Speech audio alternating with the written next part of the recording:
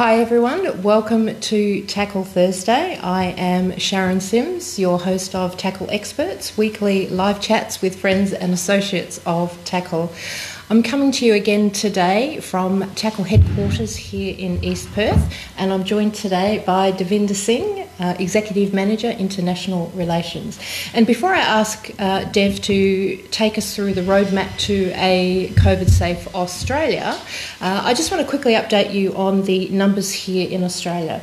So we had a quick look um, at the statement released by the Prime Minister Scott Morrison uh, Friday last week, I believe. Uh, 1,000 active cases in Australia with 97 deaths. Here in Western Australia, we only have seven active cases. Um, I'm not sure of the number of deaths here in Western Australia, but, but quite low. Yeah. Uh, so all in all, Australia is doing uh, really, really well in terms of um, COVID Australia. Sorry, COVID nineteen. Um, our government has put some pretty uh, good measures in place to help us through this situation.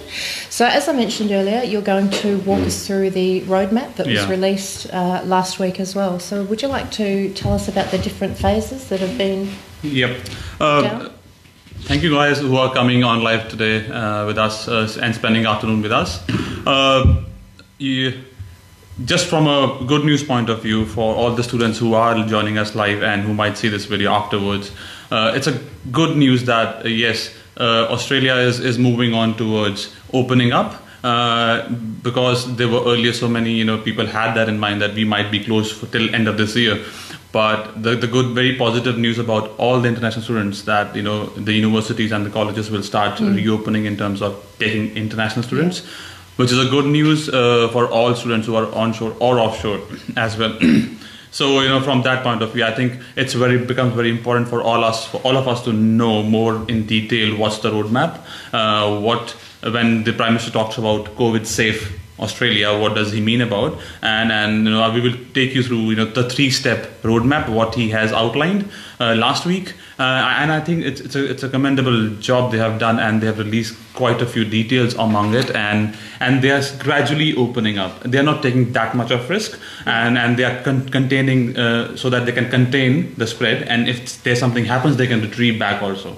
So there's a there's a you know there's a there's a between step one, step two, and step three of the pathway there is all there is some you know gap so that they can if something goes bad they can you know go back to the earlier Yeah, and step. reassess, definitely. so and the, these three steps are you know uh, very fairly simple the first one uh, which talks about uh, the first step one which is we are currently part of uh, that we are reopening has to commence you know there is no lockdown uh, with standard physical distancing and hygiene measures everybody has to adhere to 1.5 meters of distance in social settings and the and and people can go to shops uh, and people can go to restaurant cafe cafes to do a takeaway. So those things were taken care of. Step one which we are currently part of and which is being into currently into play.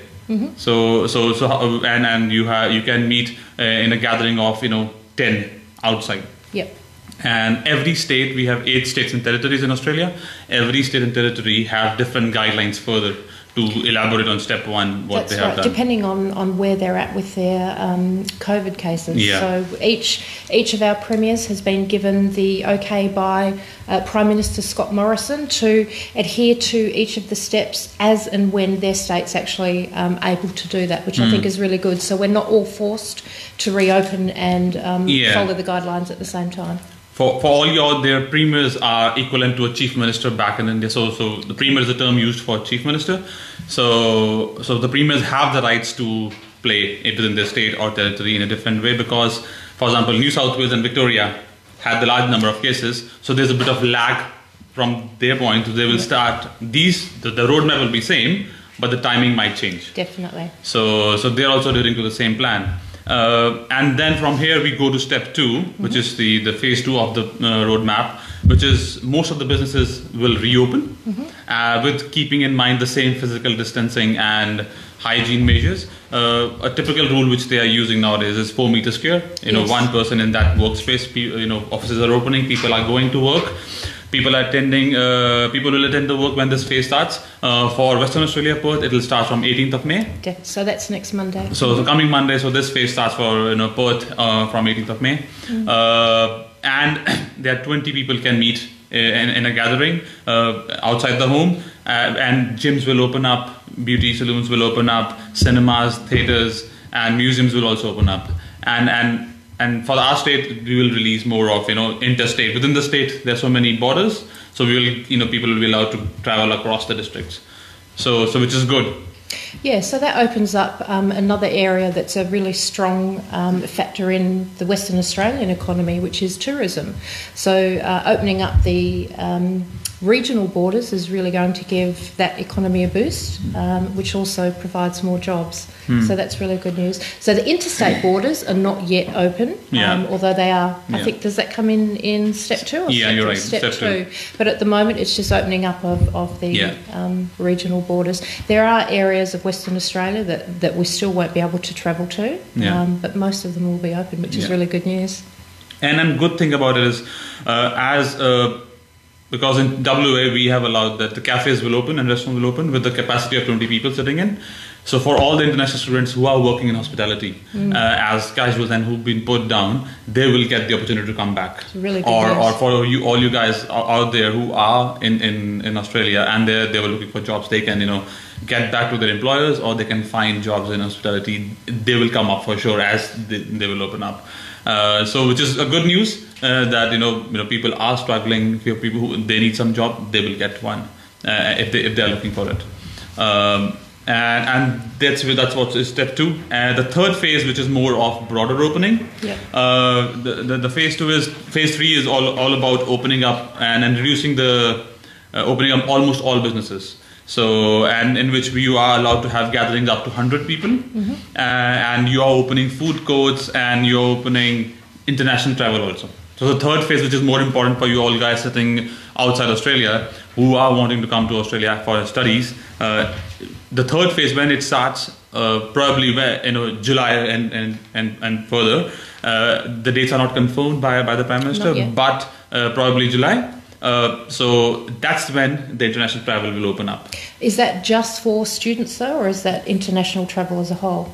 I, I think they have specifically mentioned international student travel, so I think they are thinking specifically about students. Right, yeah. So and and that might come with some level of quarantine. You know, you know, it might be a safeguard or or, or, or a risk measure from from the government point of view that if you are coming from those countries where the spread of COVID-19 is still at very active stage uh, and it's still growing, uh, you might have to quarantine yourself for 14 days or 21 days, whatever Yeah. the government decide at that point in time. So I think that might be only in a case-to-case basis, and we might know more about it as and when we reach that stage. So I think uh, so you know that yeah, I think we are waiting for phase 3 and, and and and you all should also you know you know look forward to phase three as and when you know the students and the travel open up.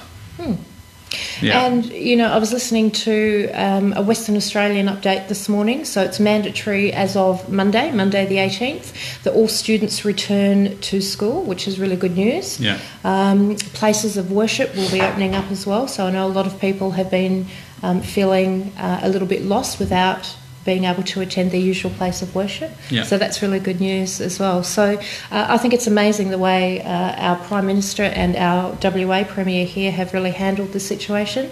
So they're taking care um, of you know, Australians um, and they've really got um, a, specific plan in place which really should help people who are feeling a little bit anxious Yeah. perhaps about sending their children back to school Yeah. or returning back to the workplace Yeah. themselves. So th- there's definitely a plan. A lot of workplaces um, are required to undertake mandatory uh, COVID hygiene practices before they um, Yeah. reopen and have a, a COVID safe plan You're in right. place as well. Yeah, so I think that that is very important for our workplaces to make sure that in how they are managing, how they are managing uh, the social, the physical distancing and hygiene, what kind of practices they are they are using. You know, who's cleaning, how many times you are cleaning.